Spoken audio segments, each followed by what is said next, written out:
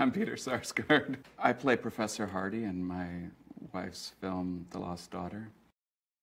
And it was really nice playing this role because I kind of play, I would say, one of the two people in the movie that is a real catalyst for change for the main character.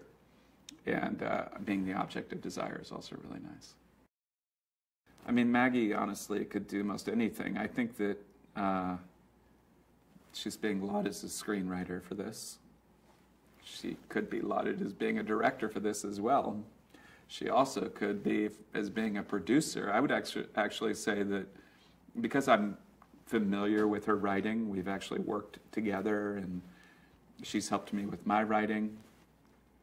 I was most amazed by the producerial element, you know, like hands on every single thing, really not compromising the artistic integrity of the thing from the day she started.